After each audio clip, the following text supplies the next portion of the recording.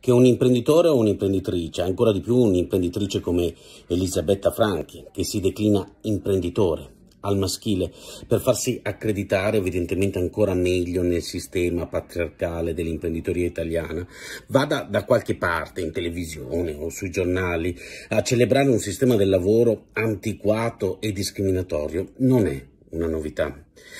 C'è tra gli imprenditori italiani questa particolare categoria che racchiude i più sfrontati provocatori, particolarmente amata da certi giornalisti e certi elettorati. Il dispotismo, del resto, come marchio funziona, piace, stuzzica le fantasie, e soprattutto di chi vorrebbe la completa demolizione dei diritti dei lavoratori, che in Italia, c'è da dire, è già a buon punto. Quindi non stupisce Elisabetta Franchi che va a un evento organizzato dal Foglio, che sono i cantori di certa apprenditoria italiana turboliberista, e si compiace di ritenere l'avvenuta infertilità delle sue lavoratrici come caratteristica fondamentale per l'assunzione.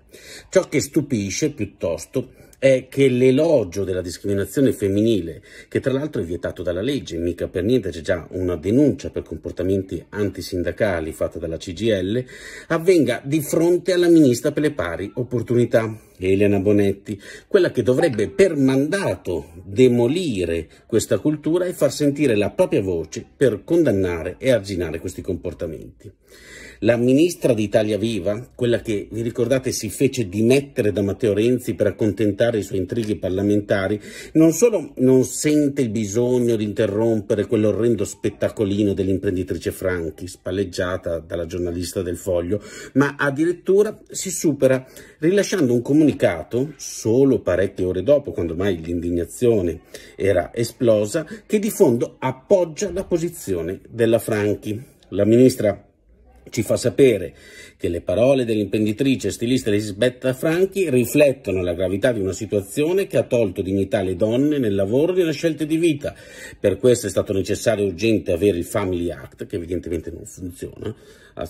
sentire quello che dice Franchi, e avere cioè una riforma delle politiche familiari che interviene su un sistema di mercato del lavoro che per anni ha penalizzato le donne. Ora, difendere l'indifendibile, negare l'evidenza e addirittura dare manforte. Del resto, sarebbe bastato ascoltare il convegno per intero per rendersi conto che nel suo intervento la ministra di Italia Viva aveva già espresso la sua posizione. Ricordava giustamente Elisabetta Franchi, aveva detto la ministra, che se una donna esce dal mondo del lavoro per troppo tempo la sua carriera ne viene inficiata.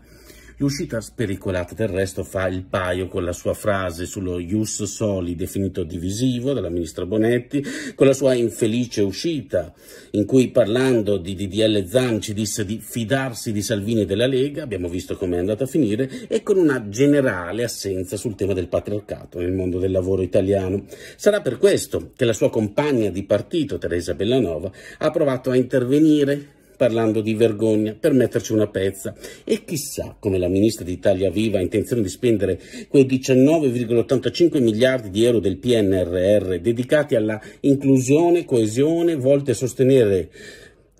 la parità di genere, contrastare le discriminazioni, se non ha avuto nemmeno il polso di alzarsi di fronte a una sequela di cretinate, definendole inaccettabili. In compenso, ancora una volta, i renziani hanno dimostrato di essere ottimi alleati della peggiore imprenditoria italiana, perfino nei momenti più sgradevoli.